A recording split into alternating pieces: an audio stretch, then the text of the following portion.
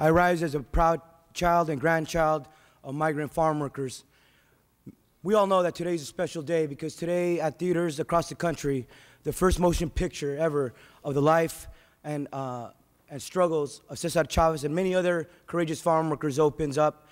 And it tells a story of, for the next generations, the young people, about what our communities went through to have some of the most basic rights that many of us uh, take for granted today.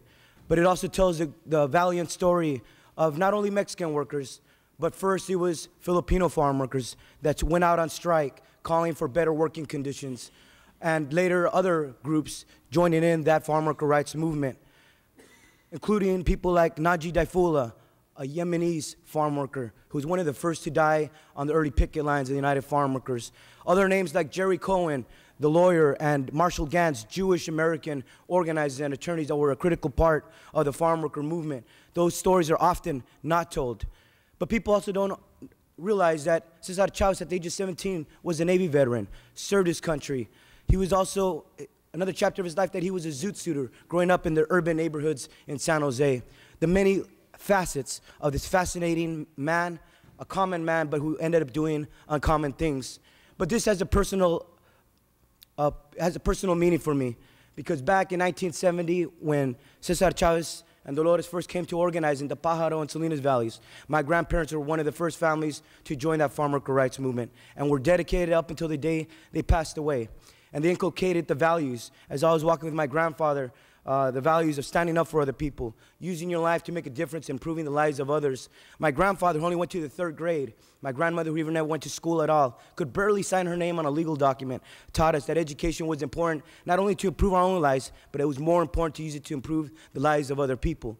So, back in 1971, my, my mother, my grandfather came outside here on the west side to fight for the most basic rights for farm workers. At that time, there, were no, there was no drinking water. There were no portable restrooms out in the field. There was no protections against pesticides that endangered my families when they were sprayed by toxic chemicals. Those things we take for granted today, but at one time they did not exist. Farm workers at one point had no unemployment insurance. They didn't qualify at one point in time. So it, you feel you come full circle that over 40 years later, now the children and grandchildren of farm workers now members of the legislature. People like Assemblymember Bonta, myself, and others who at one point were out there with our grandparents fighting for these most basic rights, and now we're able to be champions for improved working conditions of farm workers.